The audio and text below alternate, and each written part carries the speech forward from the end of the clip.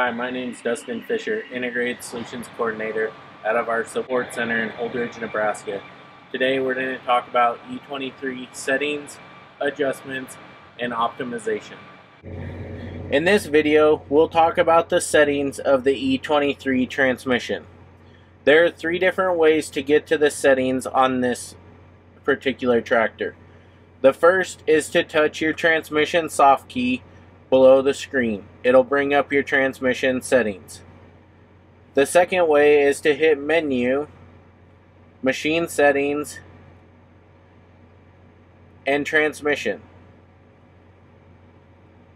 The last way is from your tractor run page. If you click on your transmission box, it'll bring up your transmission settings page. We'll first talk about the advanced settings. So we will hit the arrow with the dot.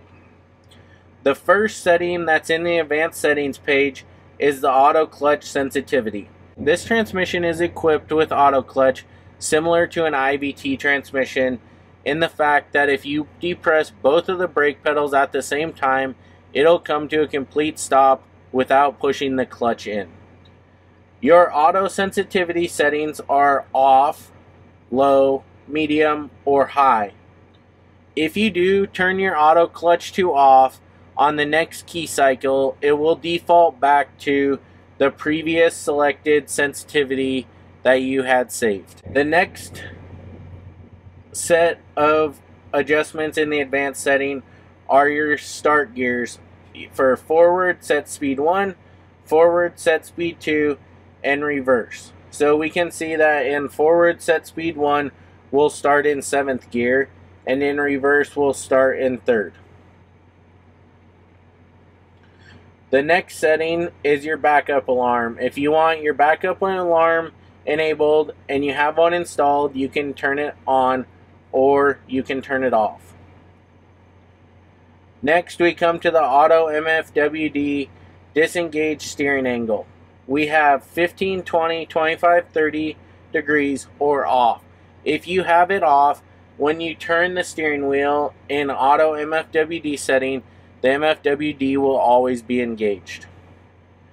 Your auto diff lock disengage steering angle is the last setting in the advanced settings page and we can choose between 3, 6, 9, and 12 degrees of steering wheel movement before the auto diff lock disengages. This is the end of the advanced settings adjustments. We will now go into the transmission settings on the main page. In full auto, you can see that the eco and custom settings is grayed out because the engine and transmission will work together to optimize engine RPM.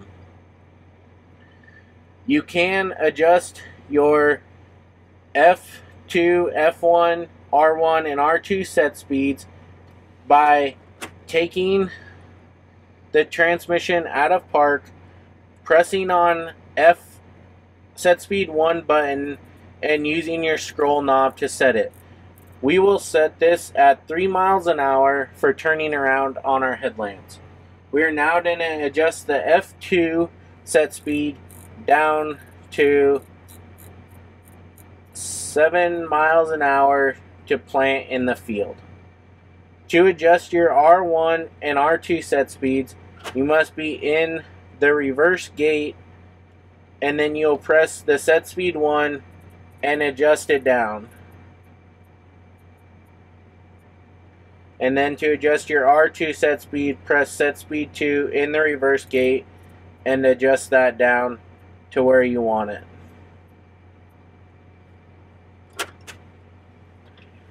The next two settings are your max speeds for forward and reverse. Right now we have the forward max set speed at 26 miles an hour and the reverse set at 19. And then we can also see our forward start gears for set speed 1 and set speed 2 and if you push the button you can change those from 7 to 10th. In this video, we're going to talk about full auto mode as we have it selected in our transmission settings page. Next, we're gonna push the throttle all the way forward so that we have the multi so we have the maximum engine RPMs available if needed. Next, we're going to shift the transmission into forward gear and our set speed is at 3 miles an hour and we're in ninth gear. You can see that our engine RPM dropped down to 1290 RPM because that's all that's needed for the load on the tractor at this current point to maintain a speed of 3 miles an hour. To increase the set speed, we'll simply roll the knob forward and you can see our set speed increased and then our actual in our actual speed increased to match our set speed. To go to set speed 2, we'll simply press the set speed 2 button and it will take us to our set speed 2 of 7 miles an hour and our actual will meet it. We can see our engine RPMs increased until it met the actual speed that we wanted and then it settled down to just the minimum RPM needed to perform the task and load on the tractor currently. To demonstrate auto clutch with the E23, we'll simply press on the brake pedals together. Our transmission will shift and we'll come to a complete stop. The next transmission mode we're going to talk about is custom mode. So if we click on custom mode, we can see our max speeds are the same, our forward start gears are the same, and our set speeds maintain the same. If you look under the performance tab, the eco on and eco off have now come available along with our custom settings. First, we're going to talk about our eco mode. Our eco mode sets our minimum engine RPMs. So in the example of pulling a planter with a PTO generator for your power generation, you need to maintain at least 1500 RPMs going through the field to create the power necessary to run the planter. But when you're turning around on the headlands, you can maybe drop to 1400 RPM to save fuel. So I'm going to set my eco off to 1500 RPMs and then I'm going to enable my eco to get my eco on engine RPMs illuminated and I'm going to adjust that down to 1400.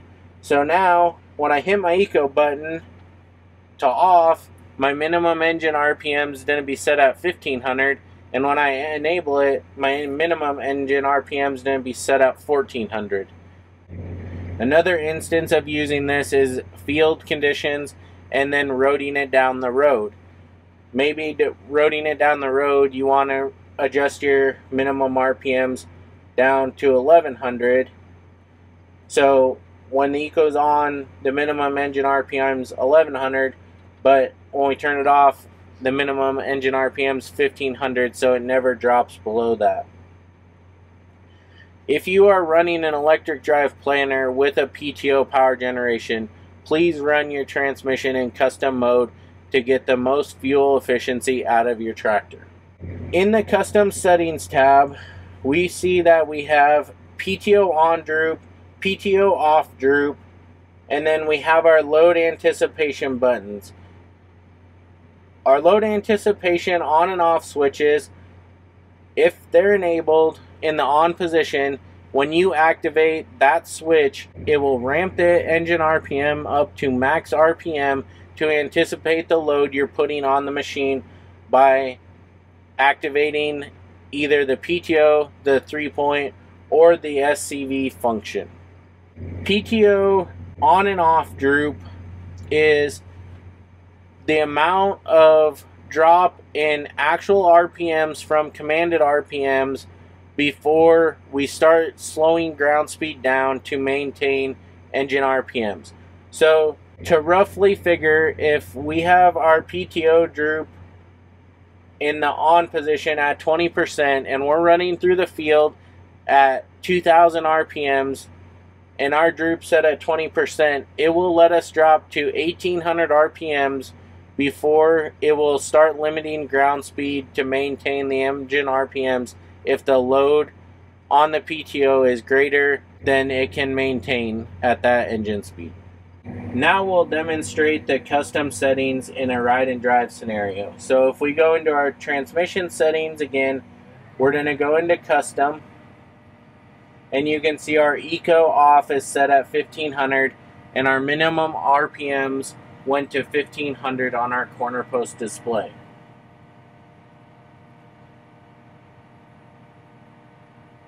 We will enable the PTO load anticipation so you can see what load anticipation does when the PTO is engaged. I will now engage the PTO switch and pay attention to the engine RPMs when it's engaged.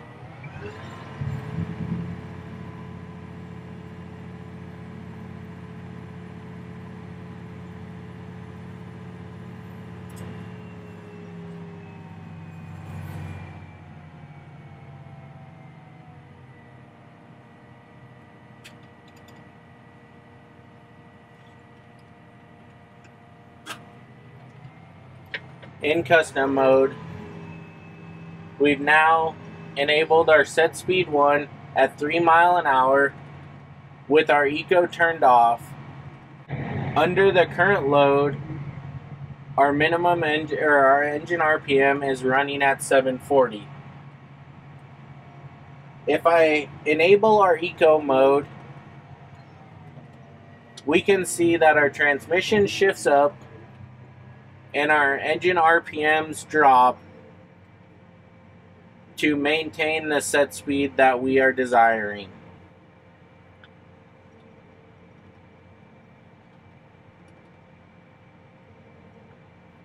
If we increase to set speed 2, we can see our engine RPMs increase until our set speed's achieved and then it will drop back down to the minimum RPMs needed based on our set point of our eco on or off. In this case, we're in eco off.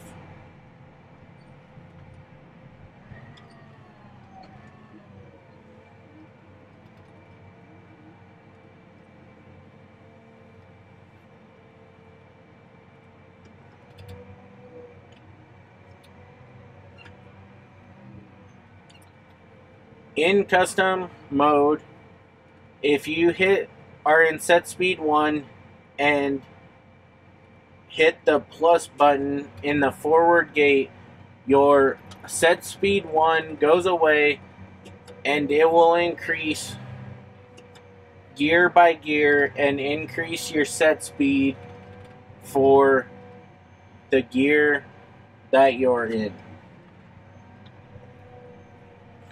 To go back into efficiency or go back into custom set speed, simply press the number one button. The number one set speed will come back on and it will pull you back to 3 mile an hour.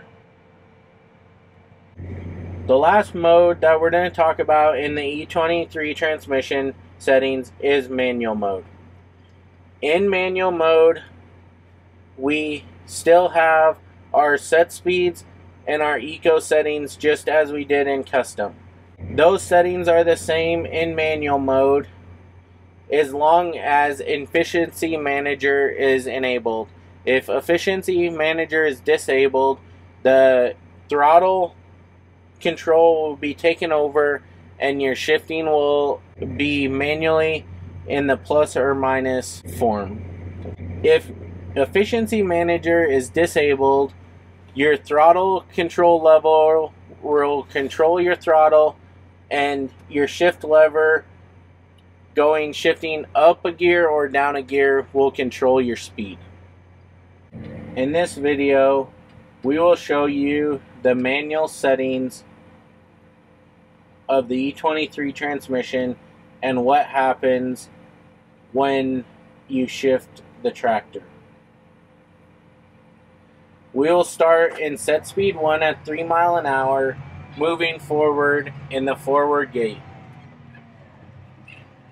We can see that our engine RPMs have dropped because our eco is turned on and our minimum RPMs are set at 1100 RPMs.